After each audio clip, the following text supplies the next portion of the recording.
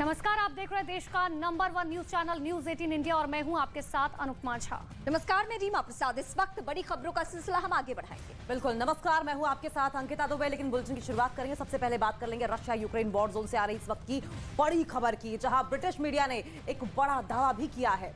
और ब्रिटेन की तरफ़ से दरअसल ये जो दावा किया गया है मीडिया रिपोर्ट्स के मुताबिक, यूक्रेन पर फिर से बड़ा खतरा मंडरा रहा। है दावा ये भी है कि रूस ने बेलारूस में तैनात अपनी सेना को कैसे तैनात किया है और सौ से ज़्यादा मिसाइल को वापस बुला लिया है। इनमें रूस की एस थ्री हंड्रेड और एस फोर हंड्रेड मिसाइलें भी शामिल हैं।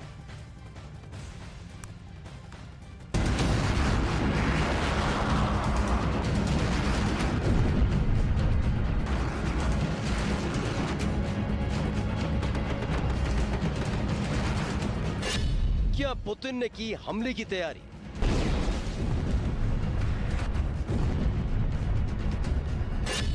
यूक्रेन पर फिर बरसेगी आफत।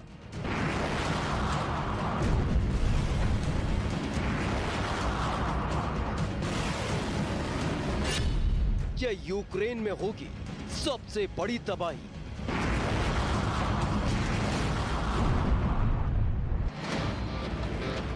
जिस रूस ने यूक्रेन पर हमले की शुरुआत करते हुए महायुद्ध का आगाज़ किया था,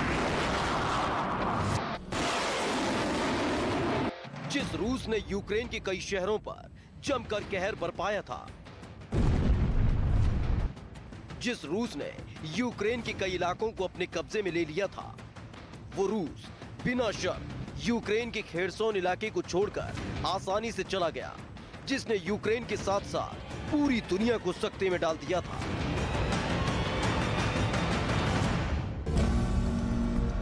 खेरसोन से रूसी सैनिकों की वापसी के बाद से ही आशंका जताई जा रही थी कि पुतिन कोई बड़ा कदम उठा सकते हैं। यूक्रेन को फिर से थर्रा सकते हैं और जब दावा ब्रिटेन की मीडिया की तरफ़ से किया गया, वो दहशत में डाल देने वाला है, क्योंकि पुतिन का एक आदेश सामने आया है।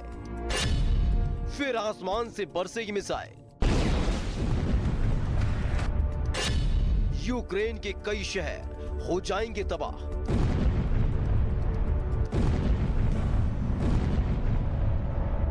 ब्रिटेन के अखबार मेल ऑनलाइन ने दावा किया कि पुतिन ने अपने सैनिकों को रूसी मिसाइलों की तैनाती का आदेश दिया है। ये वो मिसाइलें हैं जो अब तक रूस से सटे बेलारूस में रखी हुई थी। बेलारूस से रूसी मिसाइलों की वापसी का आदेश करीब 100 मिसाइल वापस मंगाई गई। एस 300 और एस 400 मिसाइलें बेलारूस से मंगाई। अभी तक रूस के सैनिक बेलारूस में रहकर ट्रेनिंग कर रहे थे और यूक्रेन पर हमले की तैयारी की जा रही थी। ये वही बेलारूस है, जहाँ से रूस ने हमला बोला तो यूक्रेन के कई इलाके रूसी सैनिकों के कब्जे में आते चले गए और दावा किया जाता है कि अब भी बेलारूस में रूस ने तबाही का सामान जमा कर रखा है।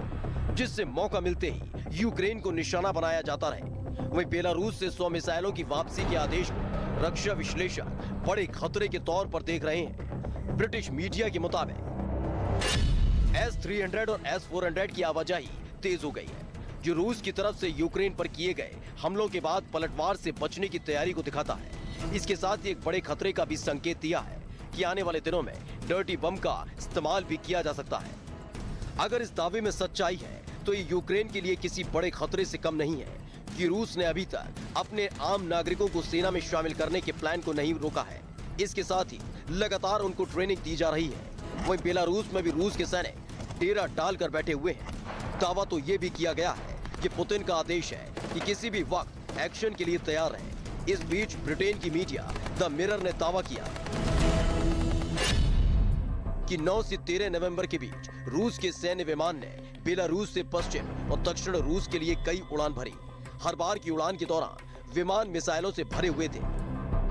इन दावों के बाद रक्षा क्षेत्र के जानकारों ने यूक्रेन को पहले से ज़्यादा अलर्ट रहने की हिदायत दी है, क्योंकि पुतिन की ये तैयारी किसी बड़ी तबाही की तरफ़ इशारा कर रही है। और अगर ऐसा हुआ तो यूक्रेन को इसकी भारी कीमत चुकानी पड़ेगी।